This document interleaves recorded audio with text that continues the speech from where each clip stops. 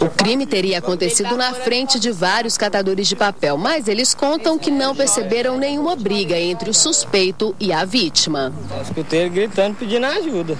Me ajuda que ele me deu uma porrada bem forte no peito, e era facada mesmo. Ele entrou pra dentro, aí teve uma confusão, ele falou assim, ai, parece que eu levei um murro muito forte no peito. Ele não sabia que tinha sido a facada, né?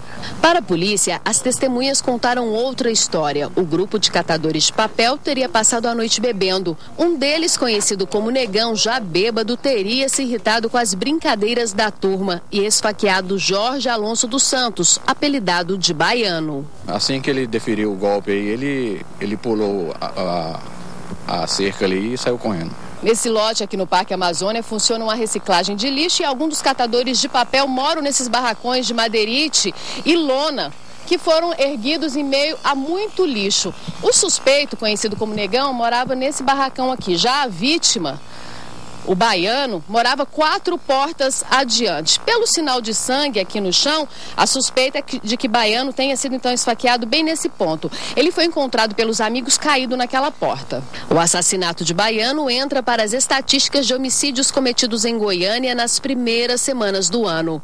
De acordo com o delegado Jorge Moreira, em pouco mais de 24 horas, sete pessoas foram assassinadas. Entre as vítimas, quatro eram mulheres é um alto número de crimes de homicídios contra mulheres, mas também contra pessoas em defesa, como a garota de 14 anos que foi estrangulada, houve a esganadura dentro de casa.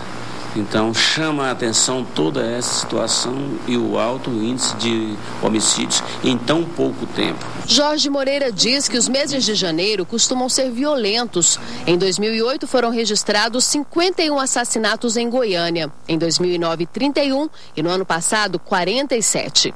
As motivações geralmente são banais, envolvendo álcool, drogas e ciúmes. O homicídio é consequência então tem que se combater as causas, que vem de uma situação psicossociocultural.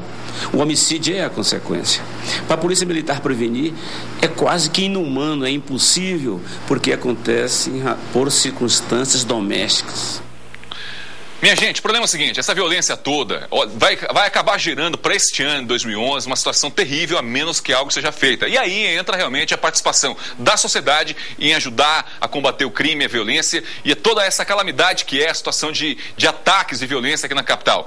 Ah, o que está acontecendo é o seguinte: dois homicídios em média por dia já. Se continuar desse jeito, teremos mais de 800 homicídios nesse ano 2011. Eu espero que seja apenas um devaneio meu e que isso não se concretize, porque apenas oito dias 18 pessoas foram assassinadas apenas em Goiânia.